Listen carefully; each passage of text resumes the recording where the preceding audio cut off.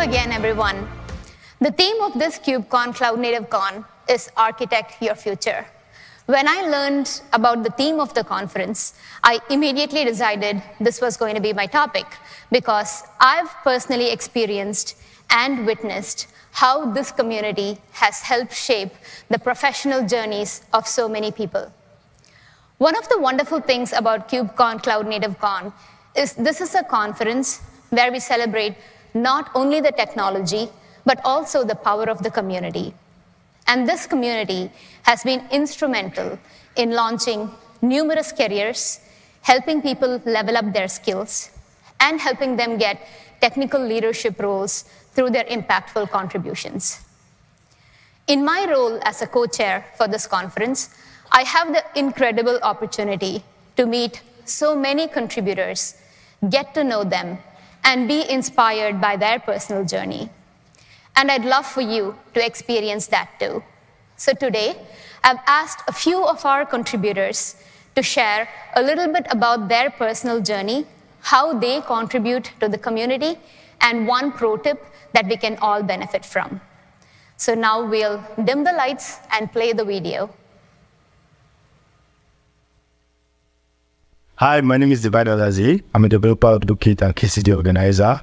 Um, I got into the cloud native community just last year when Chris, the CTO of CNCF, shared the KCNA voucher, the Open Source Community Africa conference. I studied, wrote the certification exam, and I was drawn into the world of cloud native, and since then, I've never looked back. Though I have a background in electrical electronics engineering and backend development, I did not contribute code to the cloud native community. I contribute documentation, I write technical articles, and also I speak at conferences. I really enjoy my work in the cloud native community because right from high school, I've been involved in public speaking and I loved it. And also, before learning to code, I had years later, and I, writing is something that I love doing.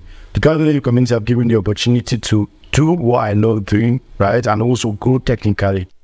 Pro tip to anyone getting involved in the cloud native community is to reach out and ask specific questions. Uh, people in the cloud native community are very approachable, and I can mention a lot of people that I've reached out to that helped me. So this this is my pro tip: reach out, ask specific question, and yeah, you will go. Hi, I'm Kasper, CNCF ambassador, community leader, Cloud Native Nordics, co-chair for KubeCon Cloud Native Con 2024, and I'm super excited to to be part of that awesome uh, team of co-chairs. So we were adopting Kubernetes back in 2016 at Lunar, and we needed someone to share our experiences with. So I created this local meetup group in Aarhus, the city that I live in. It's a city of around 300,000 people, and it really took off. We found a lot of great like-minded people that were on the same journey that we were on. So that was super great to share our experiences with them. Since then, we've had over 50 meetups in within this Cloud Native Aarhus group, and it, it's just been amazing to be part of. This has since also involved um, evolved to a, a larger uh, meetup alliance across the Nordic countries: Denmark, Sweden, Norway, Finland, and Iceland, called Cloud Native Nordics. We really try to help each other across the Nordic countries. My contributions has mainly been no-code contributions. I've done a few PRs here and there, like docs and stuff like that.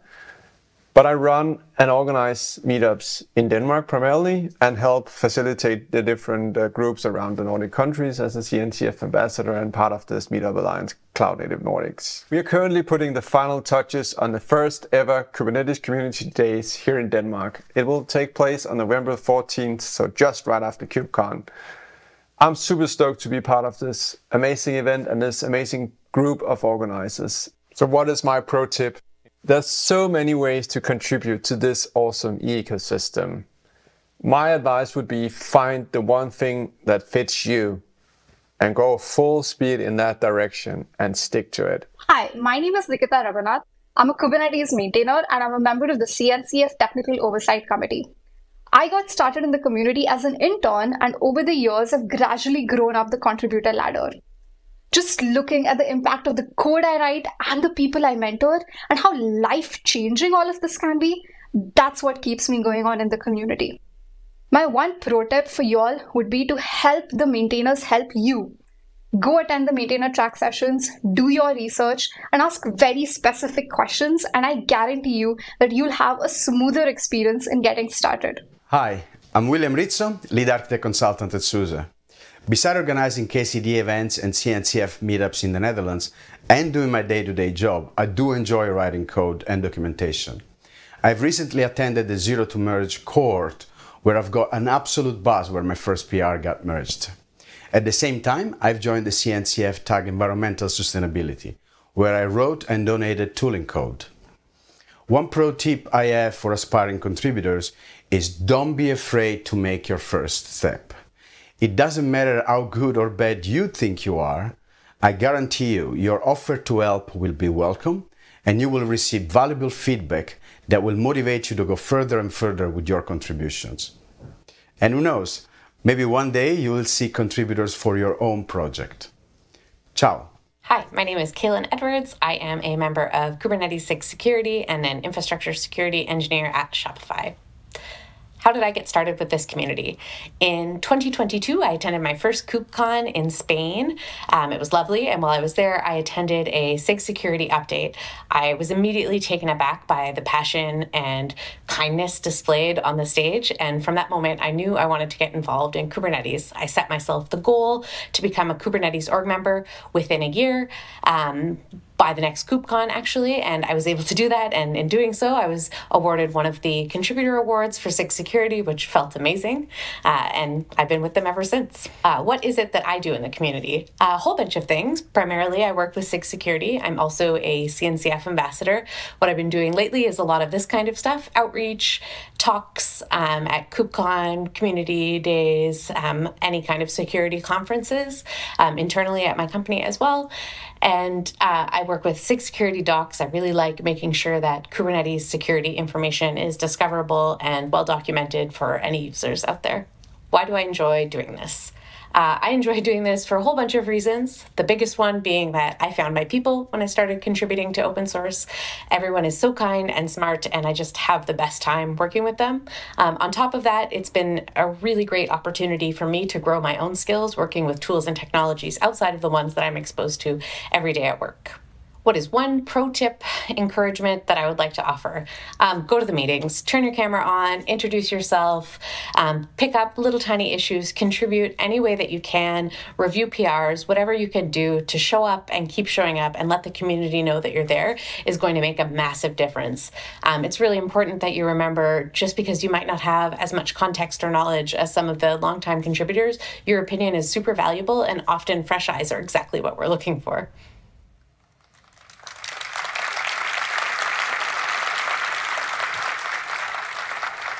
Thank you so much, Divine, Kasper, Nikita, William, and Kaylin. I also want to thank Priyanka Saggu and DIMS for sharing their insights on this topic with me. Um, by the way, did you all notice that we dropped a hint about the new co-chair who will uh, come on board starting KubeCon Paris? Yeah, you did. If you did not notice, that's okay too. We'll keep the suspense a little bit longer. Just one more day to go, and tomorrow we'll invite them on stage. All right, so coming back to the video, I'm super inspired every single time I watch it. What personally stands out to me is while these contributors come from very different backgrounds, there is one common thread that unites them all. Each of these contributors have experienced personal growth and development through their involvement in the community, and they continue to give back to the very community that has nurtured them. So now let's look at why you should consider contributing to community projects, if not already. I like to call it the joys of contribution. First is learning from the best. Great projects attract great people. By contributing to these projects, we have the chance to learn from the best and the brightest minds in our industry.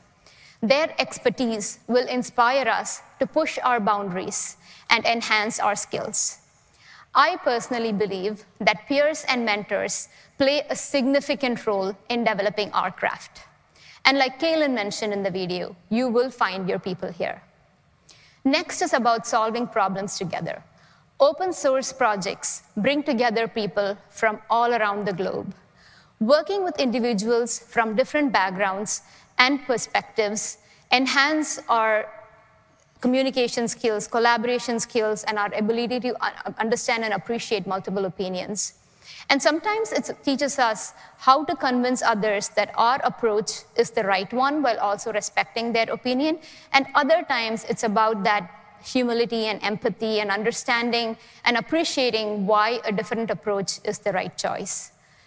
And all of this collaboration and the conflict resolution and navigation creates better overall outcomes for that project and our community. And the next is establishing our reputation. Contributing to open source projects is a very visible way to showcase your skills and demonstrate your impact. It's a fantastic way to establish your reputation and pivot your career in exciting new directions. And last but not the least, let's be honest, sometimes our day jobs can become monotonous. Contributing to open source can be a refreshing break, allowing us to work on projects that truly excite us and reignite our passion for technology. I often get asked how to choose an area of contribution. And here's my straightforward way of thinking about it. Consider areas related to your current work. This greatly reduces the learning curve and allows you to leverage your existing knowledge and context. It's a great way to deepen our expertise while being able to have a meaningful impact right away. If that's not an option, look for projects that align with your personal interests and prior experience. And like William mentioned in the video, when you work on projects that you're truly passionate about, your motivation and dedication will shine through, leading to a more fulfilling contribution. And if you're still discovering your area of interest, that's okay too. Kasper provided us with a very useful reminder. Remember, open source projects are not about code contributions alone. You can contribute through documentation, design, organizing events. So draw on your expertise and find a way to just get involved. And I promise you that before you realize it, you would have found what interests you. And you will also meet so many contributors who will help you navigate the path to your next contribution. After getting involved, how does one grow their influence in the community? Building influence in the community may seem like a daunting task initially, but it is a natural progression that will happen over time. And here are some tips to accelerate that progress. First is consistency. Kaylin talked about this. Keep showing up and consistently do good work. By actively participating and contributing regularly, you establish yourself as a reliable and a valuable member of the community. Help other contributors. Your willingness to help them and your dedication to contribute will not go unnoticed. And this one is important. Embrace new opportunities. Opportunities often come knocking when we least expect them. So always be open to exploring an opportunity and be ready to seize that opportunity if it interests you. Whether it's a chance to review a PR, whether it's an opportunity to lead a KEP or speak at a conference, embrace these moments and let them propel your career forward. Before I end, I do want to thank James for putting together the video featuring our contributors. You will see his magical touches throughout KubeCon, manifesting in the various videos that he helped put together entirely voluntarily. Thank you so much, James.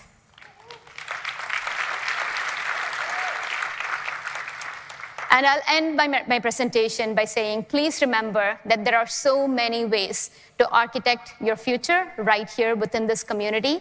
Embrace the opportunities, contribute passionately, and watch your career soar to new heights. Thank you for your time.